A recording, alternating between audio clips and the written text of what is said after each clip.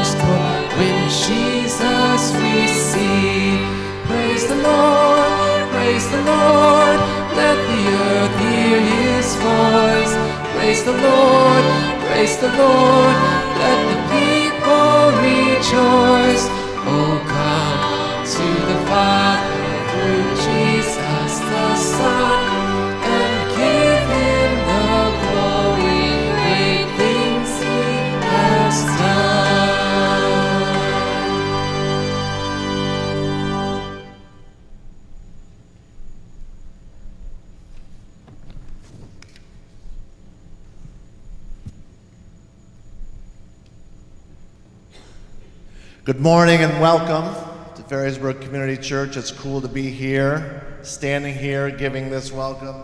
I've done it recorded, I've done it here. I like it better here. Although recording isn't bad in the woods or on the beach. I'm just a guy who used to listen to and watch a TV show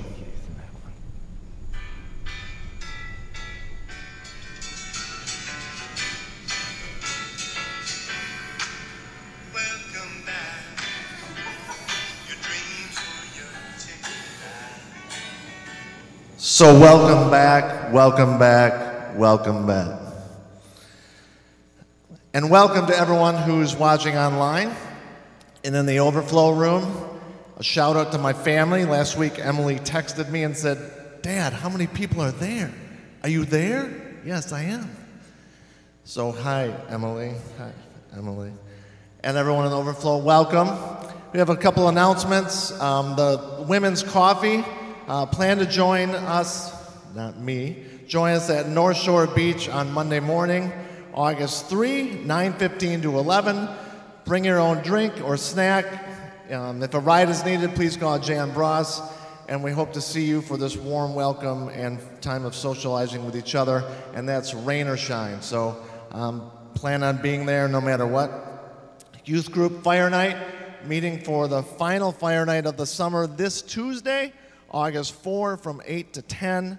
Uh, join us on the patio for worship, fellowship, and s'mores. 6th through 12th graders are invited.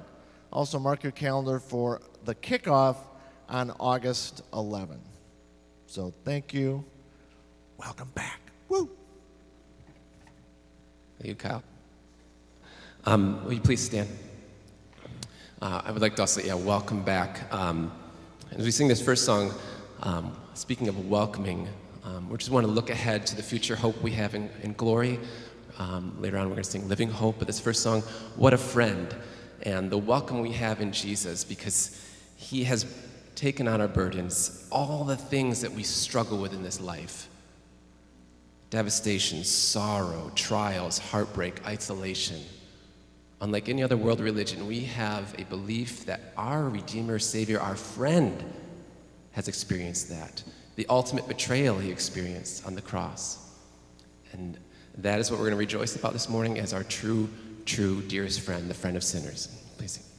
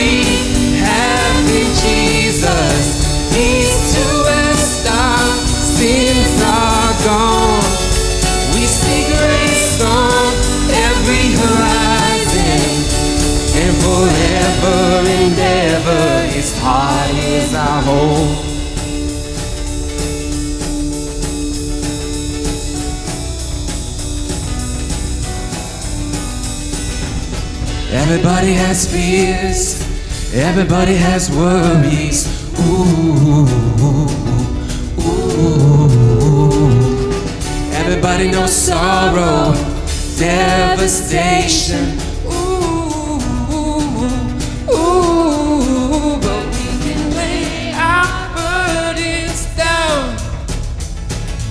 Lay our burdens down. What a friend we have in Jesus. East to west, our sins are gone.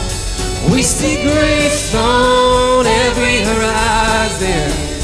And forever and ever, His heart is our hope. No more betrayal, for he is faithful. He fills me up and my cup runneth over. No more betrayal, for he is faithful. How he has proven it over and over. No more betrayal, for he is faithful. He fills me up and my cup runneth over. No more betrayal, for he is faithful. How he has proven it over and over, over and over. What a friend we have in Jesus. East to west, our sins are gone. We see grace on every horizon and forever and ever heart what a friend what a friend we have in Jesus. East to west our sins are gone.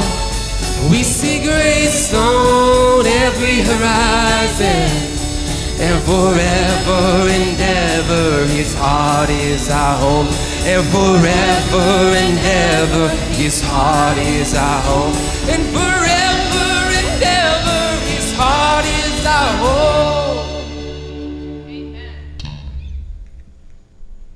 amen And good morning and welcome. And this is a greeting that God gives us today as we gather. Grace, mercy, and peace is ours from God our Heavenly Father and His Son, Jesus Christ, who is our truest friend, and the Holy Spirit, who right now is alive within every single one of us. Amen. Amen. Well, you can have a seat, and I can, I'm going to invite the praise team to to sit down as well. We got a couple things that we need to do here this morning. Um, one of the one of the blessings that we have as a church family is that we are um, we are not a pastor-led church. I mean, I know I get up and I do most of the talking, but ultimately it is uh, it is the congregation and specifically people who are selected and appointed to serve in a leadership role. Um, back when we were watching the service on our devices completely, um, we installed a group of new elders and deacons. And we've had a development since then. Um, Michelle Skipma uh, was a deacon, and she had a change in her work schedule that really um, made it impossible for her to fulfill her responsibilities um, as a deacon. Uh, and so uh, she has needed to step down, and uh, we're grateful to Michelle for, uh, for the, the year or so that she invested in our church family for her faithfulness over the last year. And since then, we have asked a person who was originally one of the potential deacons when we selected um, new elders and deacons. And um, we've, we've talked to him, and he's agreed to serve the rest of Michelle's term. So she's got two years left and that is Kevin Artema. So we installed our other elders and deacons, and right now we are going to install Kevin as well. And so, um, just a note about deacons, uh, just a reminder that, that deacons are responsible for stewardship, they're responsible for uh, the ministry of mercy that we extend to people in Jesus' name. They're responsible for practical help and encouragement. And so that is one of the things that Kevin is going to be doing. Kevin specifically will be serving as an administrative deacon. And uh, so he will be focused more on uh, stewardship of our resources and things like that. So, Kevin, I'd like to ask you if you would stand and answer just a few questions here. Uh, Kevin, first of all, do you believe that in the call of this congregation, God Himself is calling you to these holy offices? Do you believe that the Old and New Testament are the Word of God, the only infallible rule of faith and life? Do you subscribe to the doctrinal standards of this church, rejecting all teaching which contradicts them? And finally, do you promise to do the work of your offices faithfully, in a way worthy of your calling, and in submission to the government and discipline of the church? Kevin, what is your answer? Thank you. And uh, Kevin, before you sit down, uh, we'd like to say a prayer for you. So would you please join me in, in praying for Kevin? God, we thank you that you have given Kevin a willing heart, a heart that is willing to serve you in this way. And we ask that uh, as he uh, moves forward in this role, that you would grant him everything he needs to discharge his duties well. Lord, we pray that you'll protect him and his family during this time. Um, as, as leaders, often we are more exposed to uh, the attacks of the enemy, and we pray that you will protect Kevin and his family. We pray that you'll strengthen him to do your good work with, uh, with energy and with enthusiasm. And Lord, we pray that you'll give him the wisdom and the grace that he'll need to, uh, to serve you and to serve us as a deacon. And Lord, help us to remember that, that that's what Kevin is. He is a servant, and to support him in this role through our prayers and through our encouragement as well. So we thank you for providing leadership that reflects your heart and the heart of your Son, Jesus Christ. And we pray in his name. Amen. Thanks, Kevin. During phase one of our, uh, of our in person worship, one of the things that we're not doing is having uh, children's programming. And so, kids, um, you know, normally this would be a time when we dismiss you to go to uh, a classroom, an environment where you can learn more about Jesus. So, what we've decided to do is we're going to bring some of the programming, some of the environment and experience that you get uh, in the back wing of church right here into the sanctuary. And so um, last week, Mrs. Housecamp did this this morning. I'm going to share uh, some thoughts. Then we're calling this our Kids Grow moment because kids are important to us. And, and it's our desire to help kids grow deep roots of faith um, through their experience here at Ferrysburg Community Church. All right. So, this morning, kids, we are going to be talking about rules.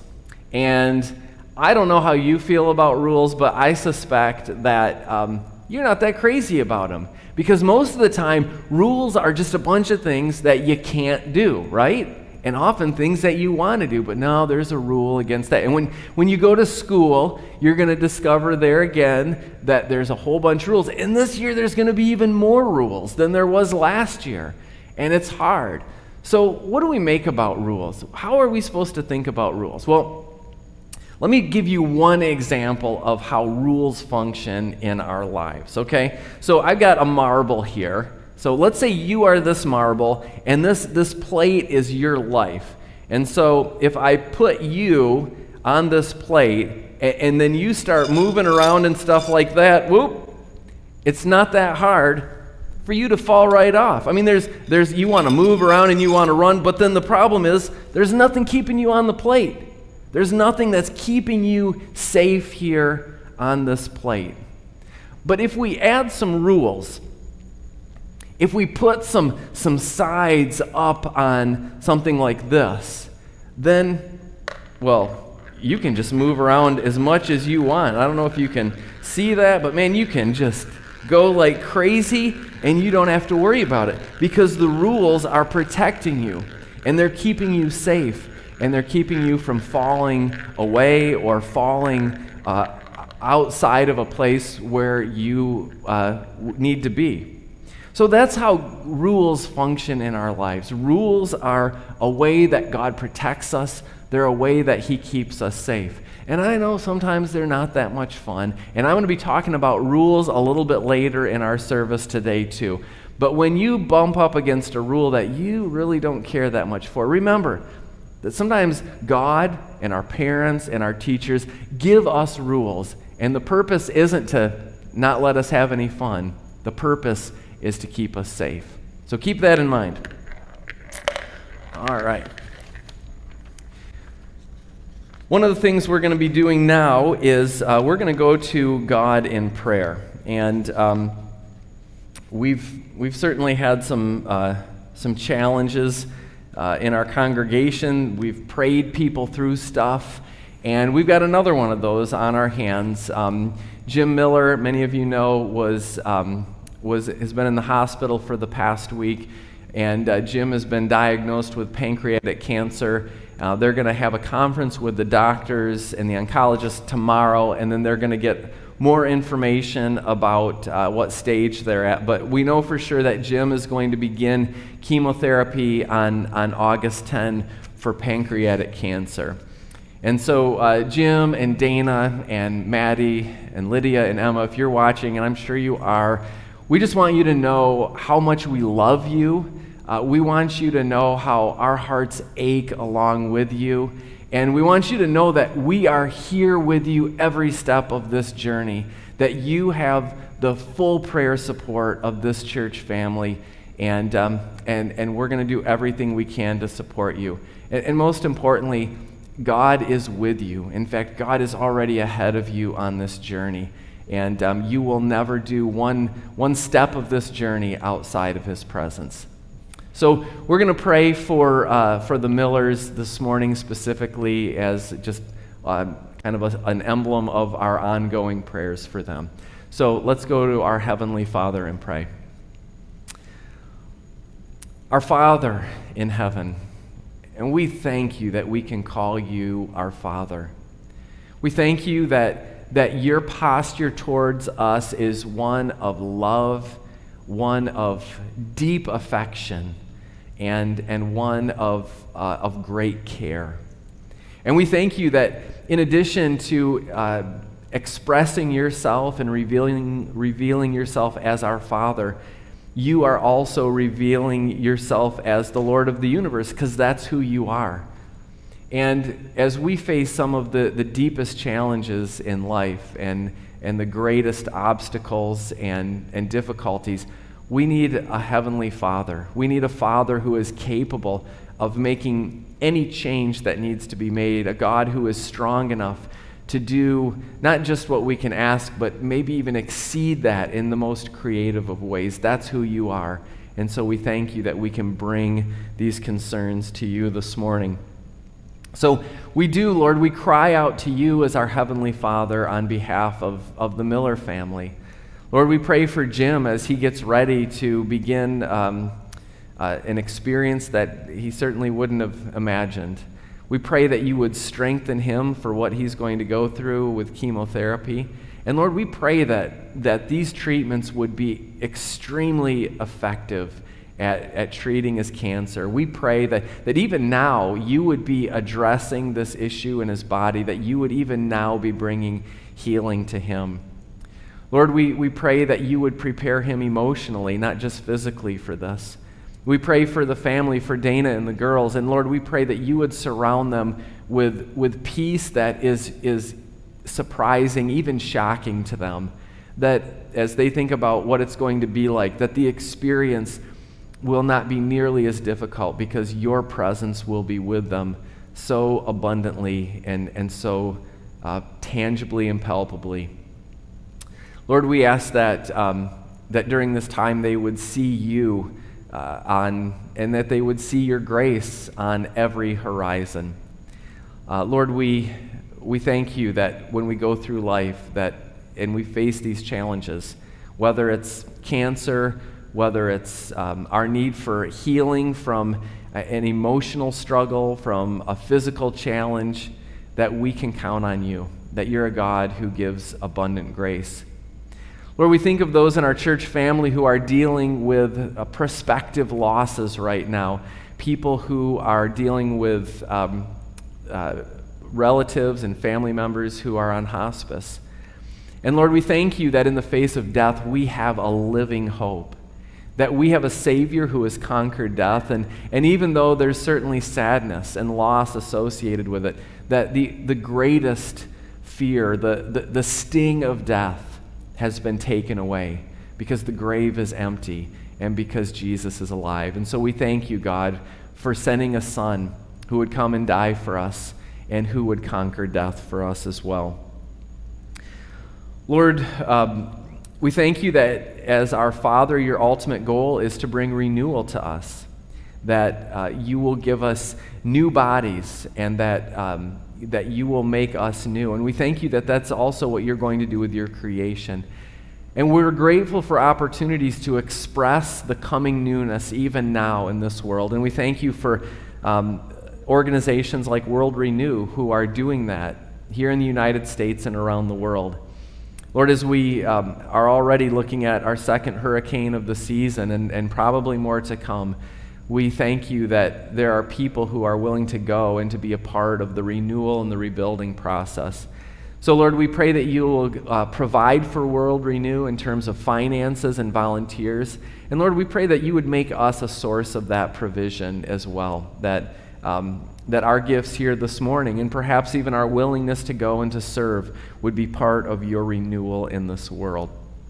So we ask, God, that, that um, in our service uh, this morning, and um, whether we do that uh, electronically or on our way out or sending a check to church, we ask that you would use the money that we give to bring renewal both to our community here, but also around the world. So, God, we thank you that, um, that death has been conquered, that the old order of things is passing away, that Jesus is alive, and he is our living hope. And we pray in his name. Amen. Let's stand together and sing another song.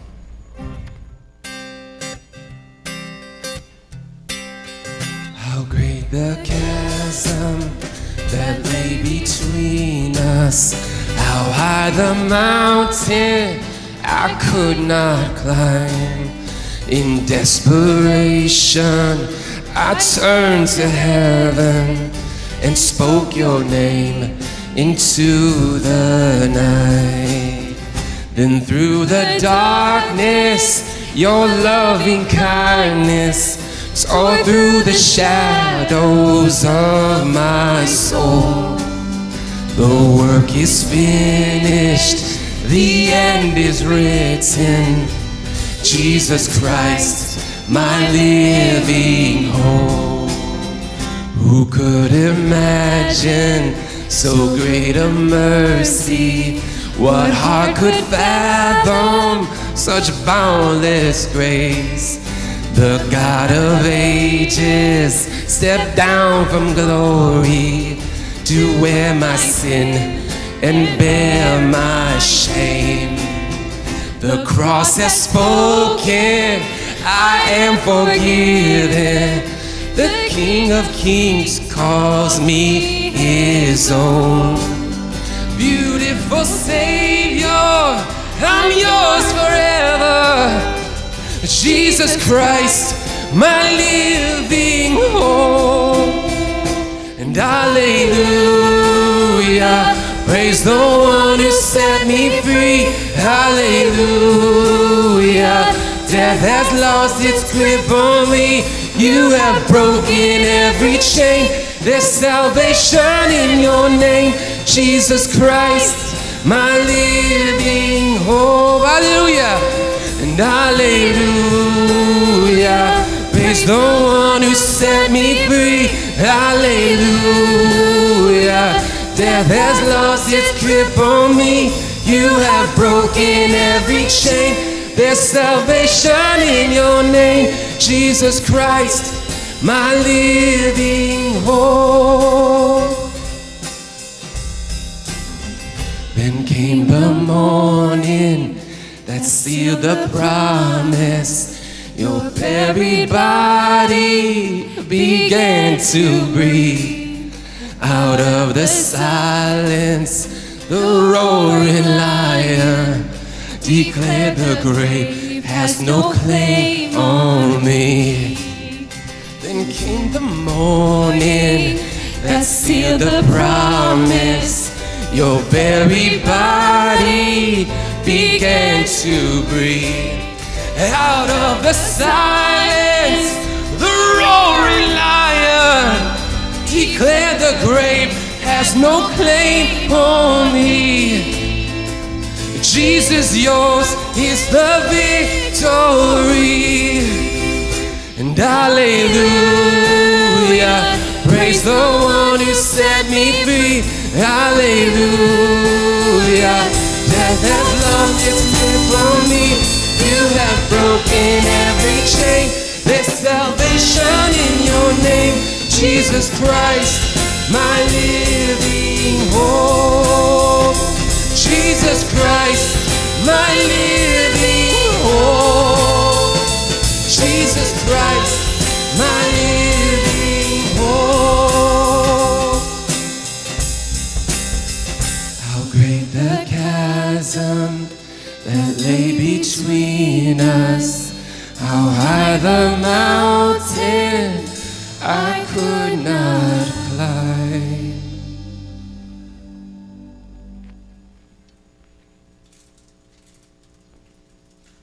You can be seated.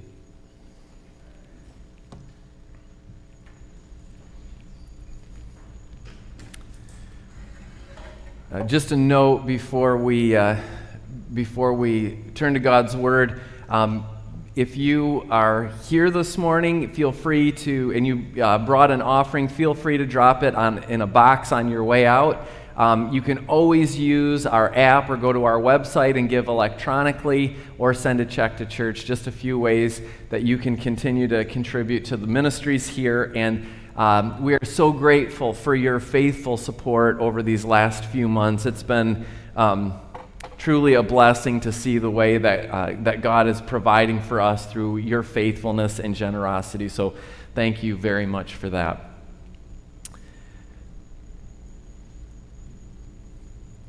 There are two kinds of people in the world. Yeah, here we go, right? The two kinds of people in the world. Uh, bit, you know, there are, but, but I've noticed this. There are people who tend to follow the rules. There are rule followers. They, they just, if there's a rule, they just feel compelled to follow it. And there are also people in this world who just, nah, not so much. In fact, if, if you're married, probably one of you is a rule follower and the other of you is not so much. That's just my experience. I won't tell you what I am and what Sarah is, uh, but, but that tends to be the case often. So, but you know, I think maybe more to the point this morning is not so much that there's two kinds of people, but that there are two different kinds of rules. There are, there are rules that are really important for us to pay attention to, rules that, that we really need to heed. And then there are rules that maybe we can take more as a recommendation or just a suggestion. So I'd like to give you a few, uh, just a couple of examples of each of those kinds of rules. Let's, let's start with the rules that tend to be more suggestions, you know? So here's the first one. 35, 37, 39, 42. You know, I mean, I've observed that many people uh, see this not so much as a hard and fast rule, but more of a recommendation. Okay? So here's another one. Again, general guideline, right? I mean, how many people actually count the items? Typically, we look down at our cart and we say, yeah, it's about 20, and, and we just go for it. But on the other hand, there are some rules where it's very important for us to heed them and to pay attention to them. And here's one example of those kinds of rules. Now, I have no idea what would happen to you if you, uh, if you went swimming in this water, but probably nobody wants to find out. It doesn't sound good. This is a rule that, that we do well to follow. Here's one more example of, of a rule like that. Probably want to pay attention to this one. Um, we are wise to, to, to heed this rule and to follow it to the letter of the law. Well, rules are what we're going to be talking about this morning because that is what uh, Paul, the author of the letter to the Colossians, is talking about in the passage that we're up to. We're up to Colossians chapter 2, verses 16 through 23. And uh, you can follow along in your Bibles, you can follow along on your device, or you can simply watch the screen and follow along there as I read. So, Colossians 2 16 through 23. Therefore, do not let anyone judge you by what you eat or drink, or with regard to a religious festival, a new moon celebration, or a Sabbath day. These are a shadow of the things that were to come.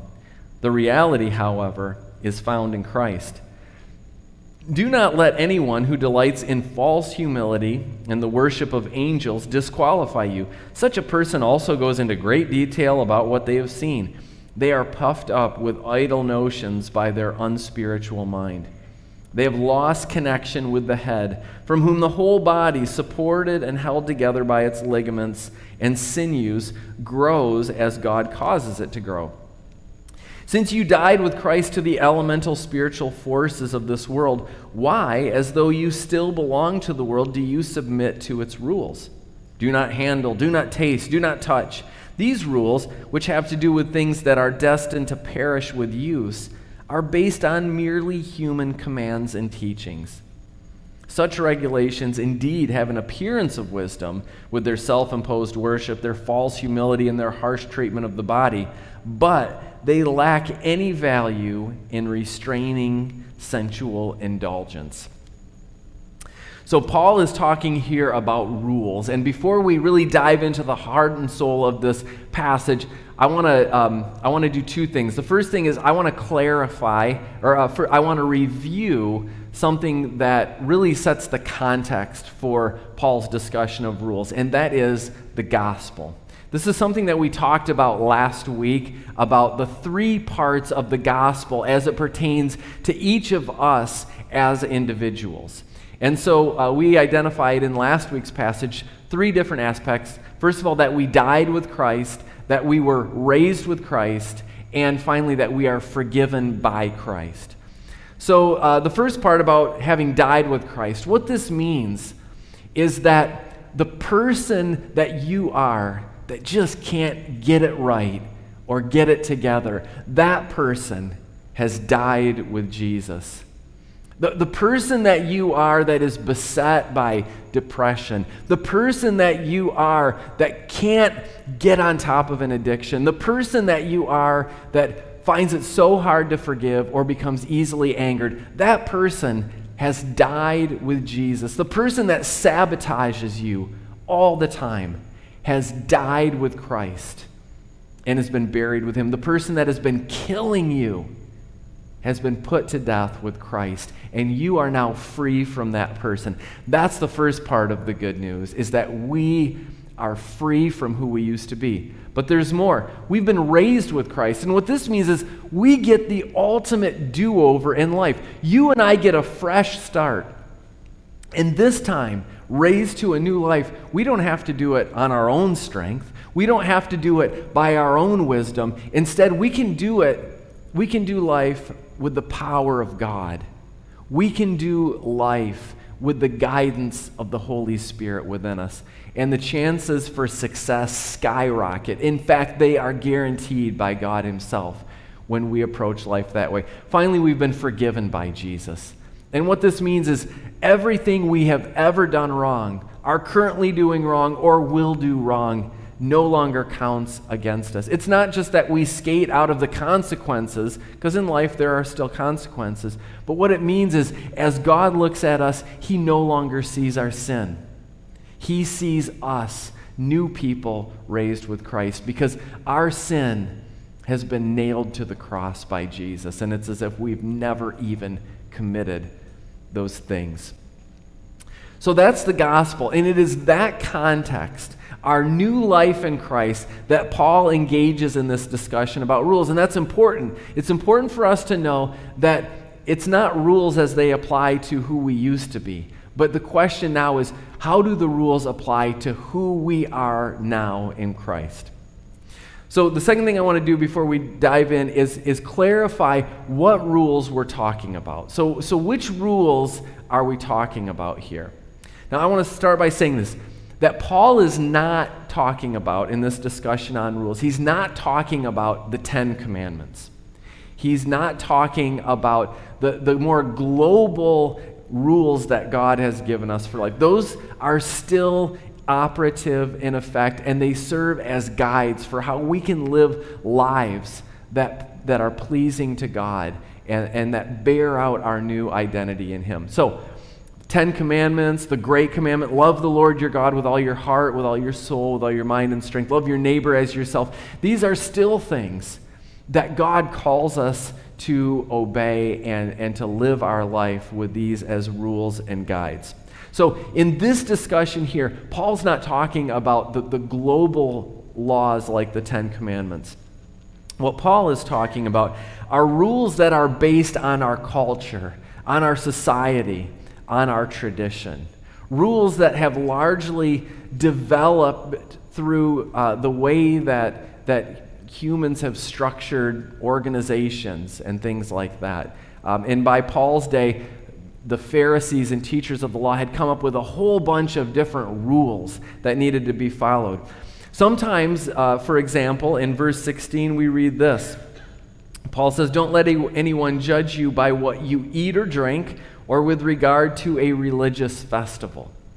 So, again, these are more ceremonial and ritual laws. They're the specific applications sometimes of the Ten Commandments. So, you know, God says, honor the Sabbath day and keep it holy, um, or remember the Sabbath day and keep it holy. So, how do we apply that to our lives? And that's where sometimes we get into these rules of humans.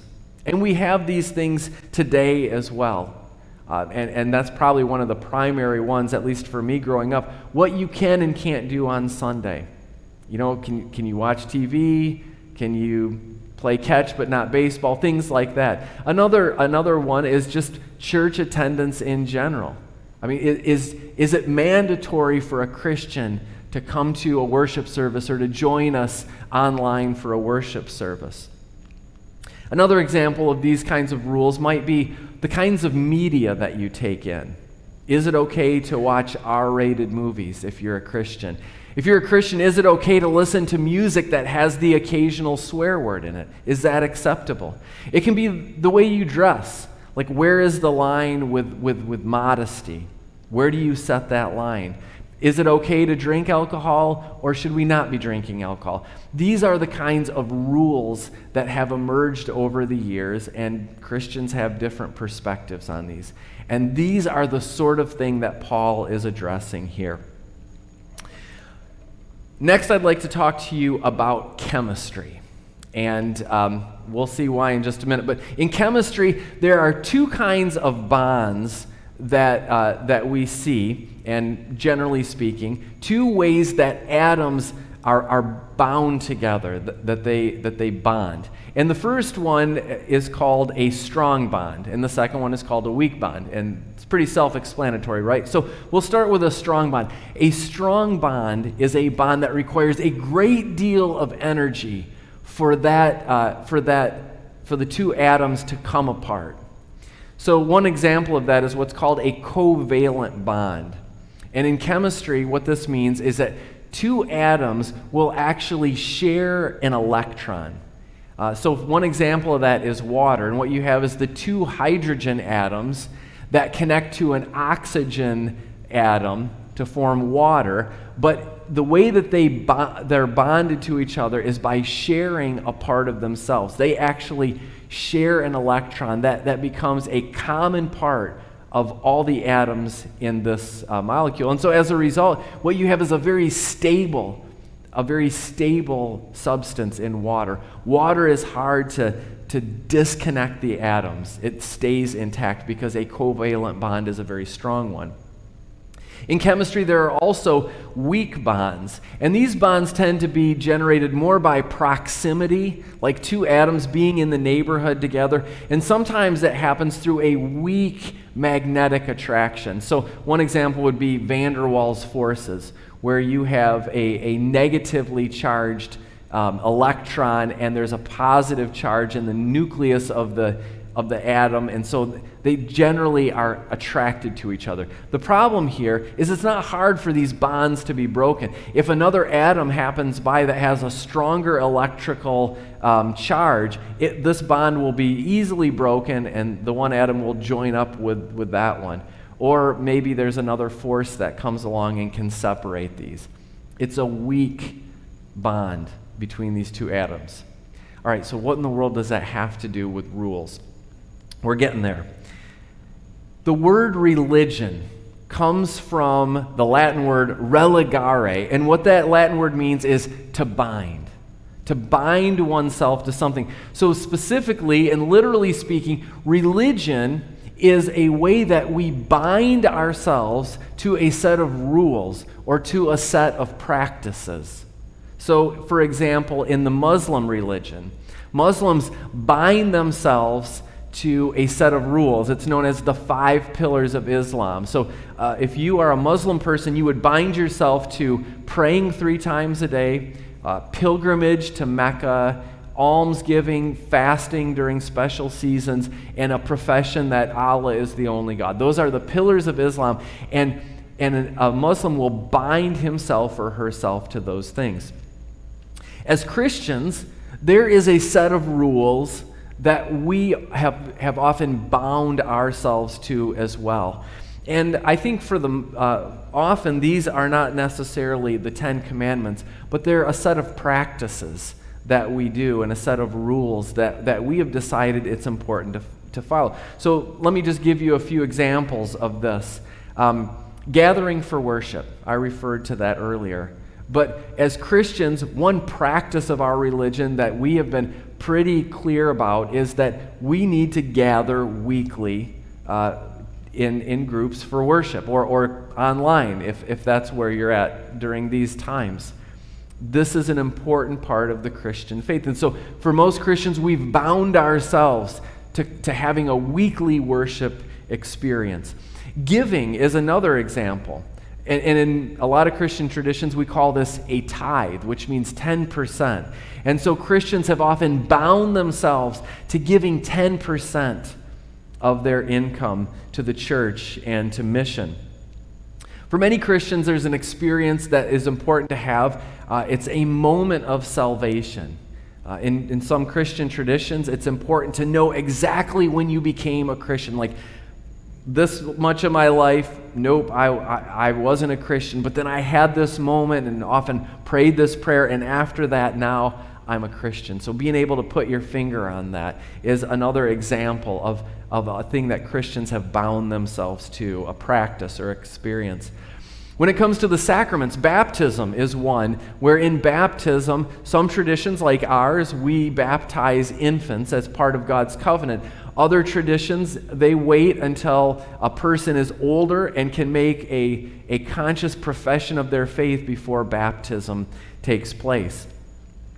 In different Christian traditions, there tends to be an emphasis on certain um, social and political values. Some Christian traditions and churches, it's important in those traditions to emphasize this set of values here about society and culture. Other Christian traditions choose different um, issues to place their importance and their priority on. So, depending on what you're in, there's other things there that you might bind yourself to.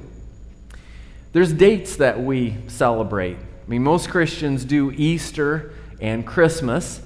I mean, even though we don't know exactly the date that Jesus was born, uh, we don't know the exact date that Jesus rose from the dead. In fact, we celebrate it on a different date every year. But we've still bound ourselves to the celebration of those days. And we do Pentecost, we do Ash Wednesday, and some traditions have many more other special days that they celebrate as well. So, as Christians, we've got a number of different things that certain traditions insist on doing, practices that we bind ourselves to. And there doesn't have to be anything wrong with this, but there can be some problems associated with it. And this is what Paul is pointing out to the Colossians, and he points it out to us by extension as well. So I want to I want to um, I want to talk about some problems with the rules. And the first one, and this one is implicit in what Paul says here, is that the rules, the rules can never bring us salvation. We can never become right with God by following rules. It, it, it just can't happen. And so if we look to the rules as a way to secure for ourselves a relationship with God, it's not going to work like that. In fact, we will drive ourselves crazy and we will work ourselves to the bone and live without that security. So, um, the rules are not going to gain for us salvation. Another thing um, that Paul says at the end of this passage in verse 23, he says, Such regulations indeed have an appearance of wisdom, but he goes on to say, they lack any value in restraining sensual indulgence. Rules don't make saints. Rules cannot make you a better person. You will not become a better person because you follow the rules. Paul says that just because there's a rule against, um, against adultery doesn't mean that adultery will stop happening. In fact, sometimes, like what we found in the Old Testament, when there were uh, a bunch of laws, people just made them curious. And, they, and it actually led to more sin happening. So Paul's clear about this. Just because there's a rule about something doesn't mean that it's going to be followed, and it's not going to make you a better person. A third thing that Paul points out in verse 17, he says this These rules are a shadow of the things that were to come. Rules are often a shadow. And if you see a friend and you're talking to them, you're not going to talk to their shadow. You're going to look at them and talk. We, I mean, shadows are, are, are nothing, they're just uh, an outline of the person that's really important. And we're going to talk more about that in just a minute. But finally, uh, and, and this gets to where we've been rules cannot bind us to God. And I suppose that's the problem with religion is that we have looked to rules to, we've bound ourselves to rules as a way to try and bind ourselves to God. And Paul says the rules aren't going to do that. In verse, uh, in verse 19, Paul says that people who insist on following all these rules have lost connection with the head. Their bond was weak and it's been broken. You know, rules can put us in proximity to God. They can, they can get us close to God. They can create some level of attraction. But the problem is if we use rules as a way to bind ourselves to God, anytime something else comes along with a greater attraction, something more fun, some other great opportunity, the bond between us and God can be easily and quickly broken, and we'll go off and follow that next thing. If we use rules to make our connection with God, then often when life gets difficult and challenging, what we discover is that is that that bond can be easily broken. And as a pastor, I've seen this. People who thought they were doing everything the right way, but tragedy still struck. And in their disappointment and disillusionment, that bond was broken because the relationship was largely predicated on following a set of rules. Rules cannot bind us to God. Rules are there to point to something greater. Rules are there for us to continue to look in the right direction. Rules are often the, the, hand that points us to God. And if we get obsessed with the hand that's pointing to God, then we are missing the point. The rules are there to direct our gaze to God. And again, Paul says that these rules are a shadow of the things that were to come. They're just a shadow. And, and the thing about a shadow is you can't, you can't touch a shadow, you, you can't feel a shadow.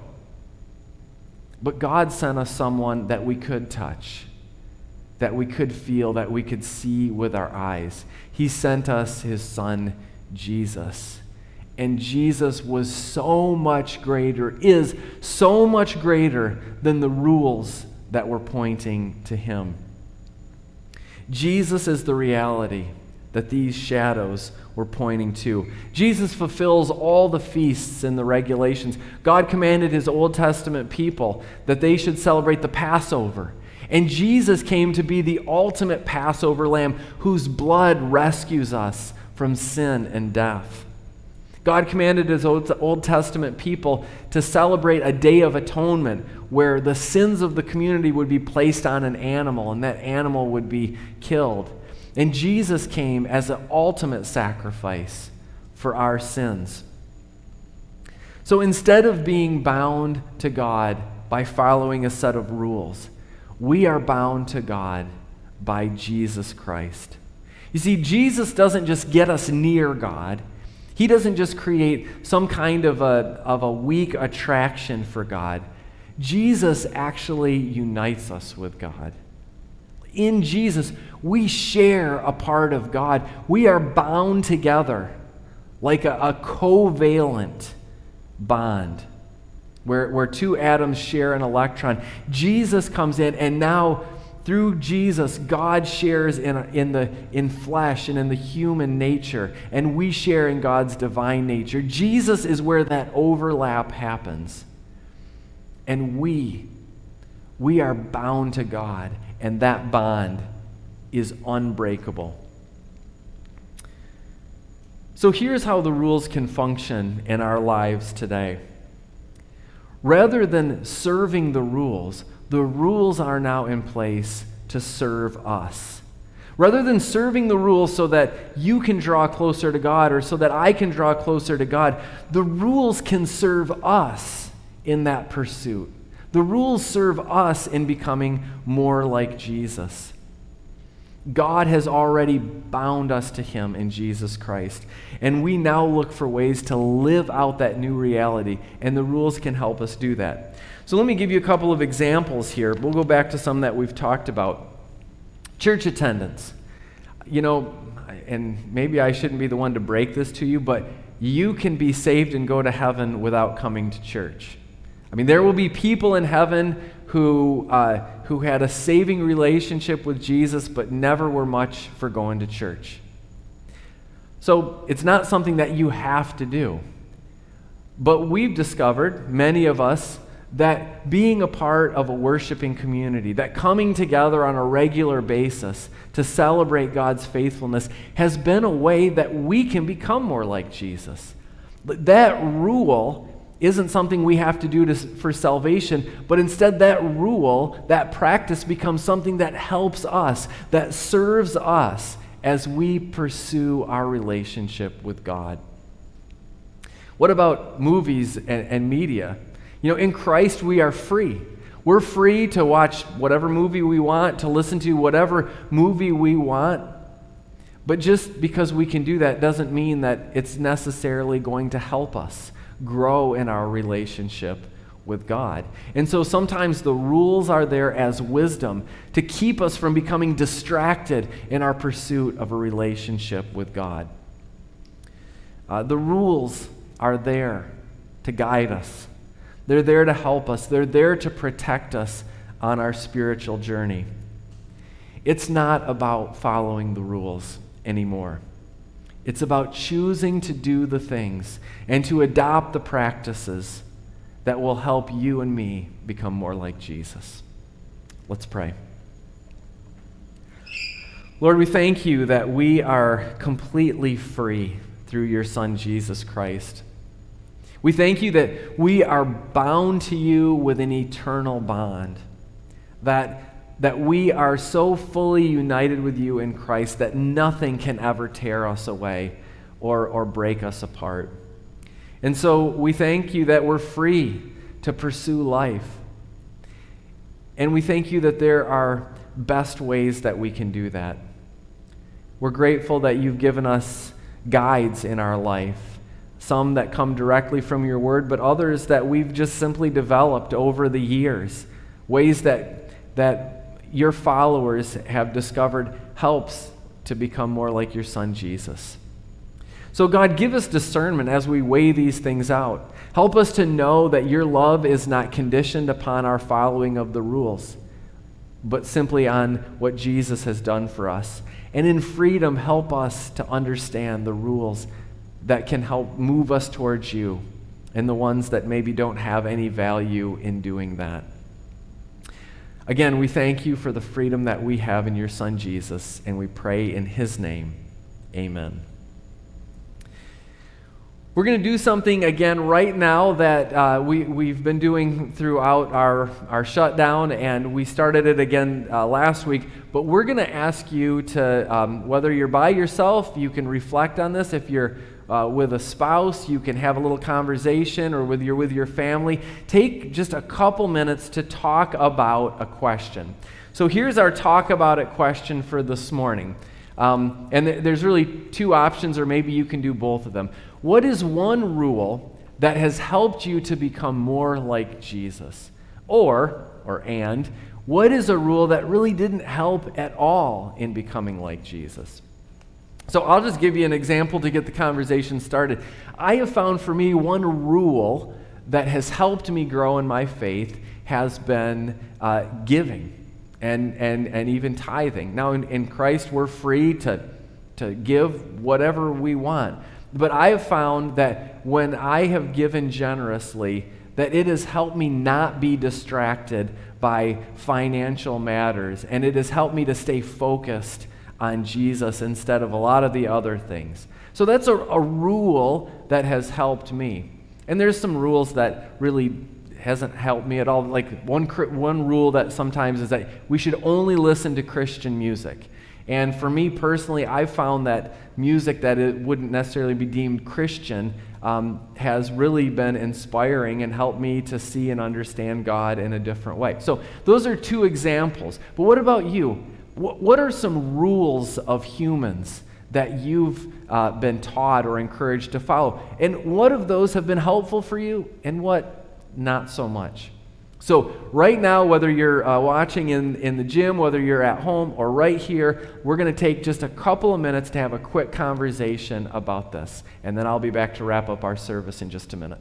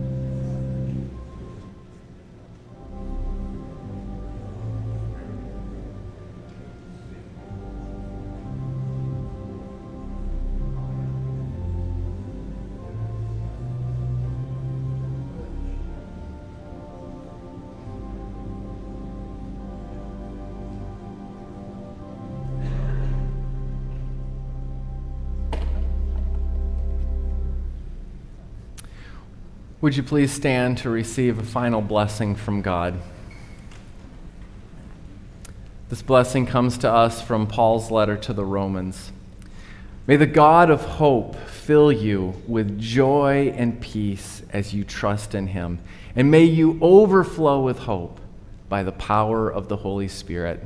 Amen. Amen.